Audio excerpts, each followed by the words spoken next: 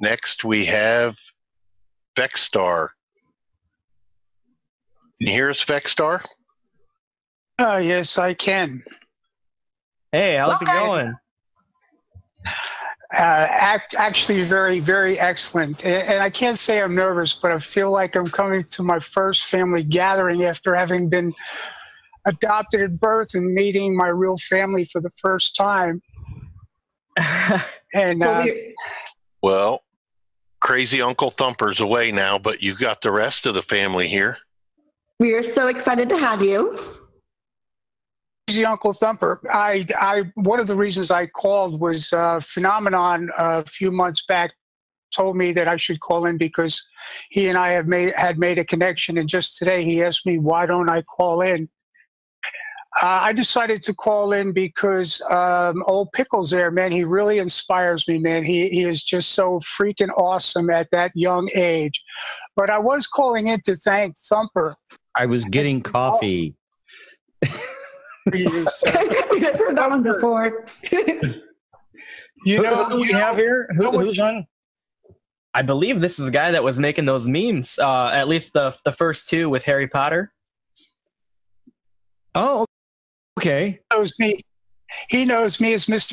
Purple Tie. And sir, every day at work, when you play I Am Sovereign and the guys in this shop uh, start air guitaring and Dead Cat's reaction to that song just warmed my heart.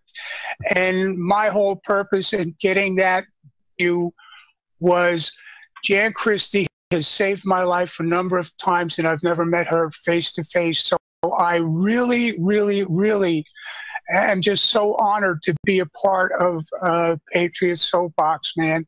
And Thumper, wow. I mean, I really, really, really want to thank you. Knowing that I, I broke my arm three months ago and um, I got two pieces of titanium and 11 screws in my elbow, which cost about the price of my uh, Harley just for the hardware.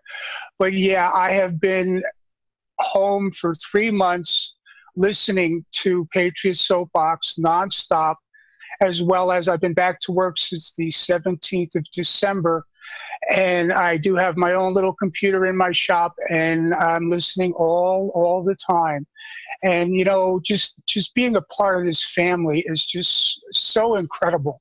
I mean, I am touched so often and uh, you know i try to play off that toxic masculinity all the time but when, when i'm with my family here and and the anniversary party the other night you had me in stitches i mean i was laughing till i cried i just i, I just call to let you know that you really have given this old man i mean i'm only 65 i'm somewhere between thumper and um, Dead cat. Yeah. Dead cat, exactly.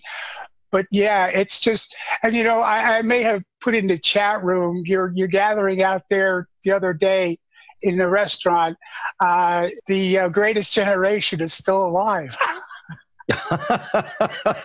you know what? Uh, the the greatest generation and the baby boomers. You know, uh, uh, and uh, it's, it's good to see seasoned pixels here in uh, uh, in doing what he's doing, and uh, uh, a lot of potential in you, young man. So uh, you know, keep up the good work.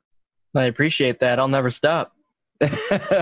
Don't stop until they're, you know, we, we've got them buried six feet under and a stake through their heart.